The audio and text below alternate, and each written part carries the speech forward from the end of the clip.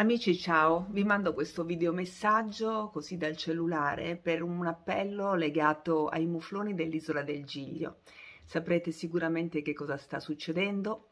L'anno scorso ne hanno parlato alcune televisioni e anche diversi giornali. I mufloni sull'isola del Giglio sono considerati alieni e non perché vengono da un altro pianeta, magari. Sono considerati alieni perché lì, secondo i biologi, o alcuni esperti non dovrebbero vivere. Peccato che li abbiano portati gli esseri umani più di 70 anni fa. Da 70 anni a questa parte ovviamente si sono riprodotti e adesso sono considerati una specie invasiva. Che cosa si può fare? È mai possibile che adesso si continui a parlare di eradicazione? Mi fa paura questa parola. In realtà eradicare una specie non significa nient'altro che eliminarla.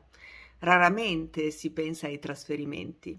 In questo caso so che sono stati tentati dei trasferimenti, alcuni hanno avuto successo, altri no, ma è un dato di fatto che purtroppo l'uomo da troppo tempo si arroga il diritto di decidere chi può vivere in un luogo e chi no.